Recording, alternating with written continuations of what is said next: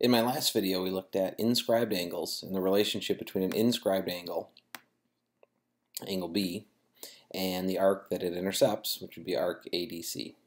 And we saw that an inscribed angle, its measure is equal to half the arc that it intercepts. So no matter what, as I adjust the size of the arc, the angle does get bigger, but the measure of the angle 47.57 is equal to half the measure of the arc. All right, so that was the last video.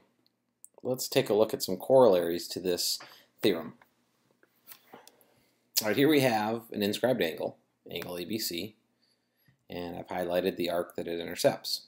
Suppose there's another angle that intercepts the same arc, and that's angle ADC. Well, the measure of angle ADC is half of our, the arc AC because it's an inscribed angle. The measure of angle ABC is also half of the arc AC because it's an inscribed angle. It doesn't matter where along the circle I move point B, it's still going to be half of arc AC. You can see at some point it's going to fall right on top of D, so they're the same angle. So no matter what, those two angles are congruent. So here we have two inscribed angles in the same circle intercepting the same arc. So they're each half of that arc, so their measures are equal, and they have to be congruent. So the theorem is if two inscribed angles in the same circle intercept the same arc, then those angles are congruent. Angle B, angle D, inscribed angles, intercepting arc AC. So angle B and angle D are congruent. Another one is a special type of inscribed angle. Uh, some people would say that it's an inscribed angle inside of a semicircle or an inscribed angle that intercepts the endpoints of a diameter. Um, or an inscribed angle that intercepts an arc that is a semicircle. So however you see it written or heard it talked about, it's the same picture. Here we have angle ABC inscribed in the circle, and AC is a diameter because it passes through the center. So angle B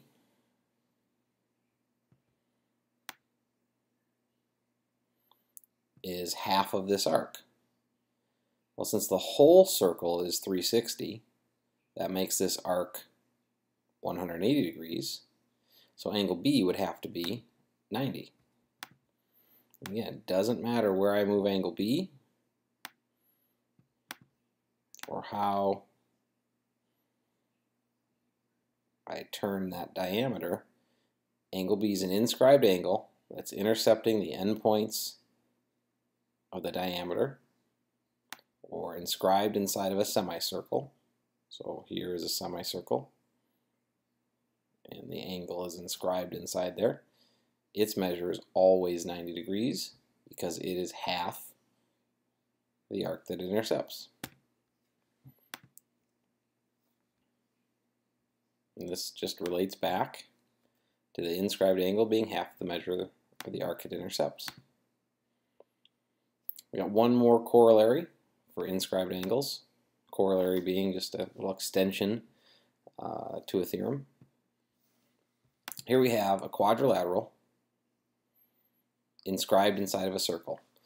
Uh, just like an inscribed angle means it's got its vertex on the circle, a, when a quadrilateral is inscribed inside of a circle, it means that all of its vertices fall on that circle.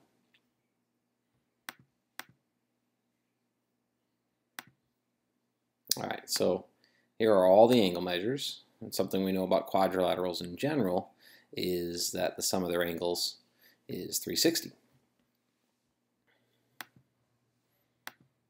Let's focus on angle B and angle D and the arcs that they intercept. Angle B intercepts this orange and green dashed arc, which has a measure of 209. Angle D intercepts the green arc, which has a measure of 151. And here I have a calculation. The measure of ADC, 209, plus, A, plus ABC, measure of that arc, equals 360, which should make sense because we're talking about the green arc plus the orange arc making a full circle. Well, let's look at those angle measures again for B and D. Measure of angle B is about 101. Measure of angle D, 79 degrees. What do those add up to? 180, which is half of 360. Together, these two add up to 180.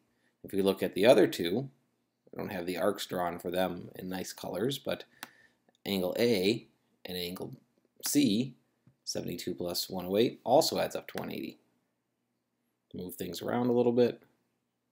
101 and 79, that's the same. Move those. 122 and 58 still add to 3, uh, still add to 180. 94 and 86, those still add to 180. So when he, what we have here in a quadrilateral inscribed inside of a circle, the opposite angles add up to 180 or are supplementary.